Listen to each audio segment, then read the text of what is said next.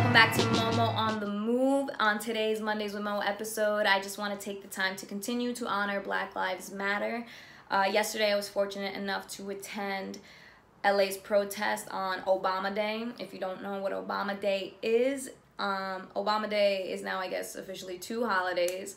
Uh, Obama Day is actually on his birthday on August 4th, but Twitter unofficially made Donald Trump's birthday, which was yesterday, June 14th, also Obama Day um, to honor our last real president.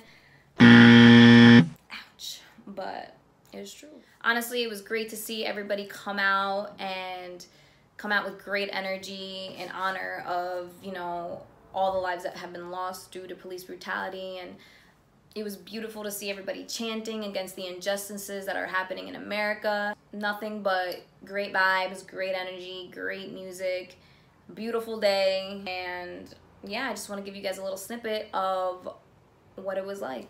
Check it out. There we go. Let it be known, y'all, because we don't have time. And it's 401 years too late, so. You heard it here first.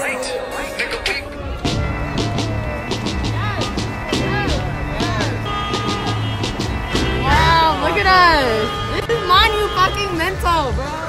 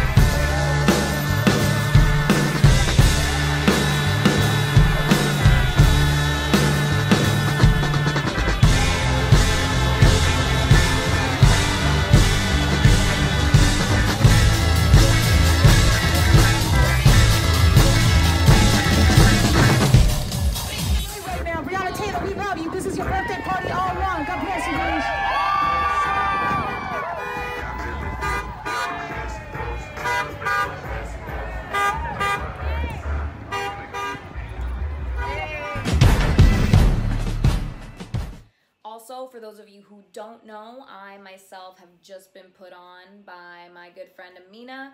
Uh, June 19th is coming up. For those of you who don't know, June 19th is also known as Juneteenth and is the day that the remaining slaves of the American Confederacy were emancipated. So for me, that rings true independence instead of the independence that we celebrate on July 4th, which doesn't really celebrate independence for all people in America. So for me, it seems only right to celebrate Juneteenth. And for those of you who want to continue to support the Black Lives Matter movement and support our Black community, um, I suggest shopping Juneteenth sales instead of July 4th sales. Um, gather around for that weekend, but don't just gather and celebrate Black Lives that weekend. Continue to spread knowledge, continue, to educate those who aren't aware of how African Americans are treated and have been treated because it's been omitted from our textbook time and time and time again. Um, continue to spread the truth and support the movement. And I'll catch you next time on the next episode of Momo on the Move.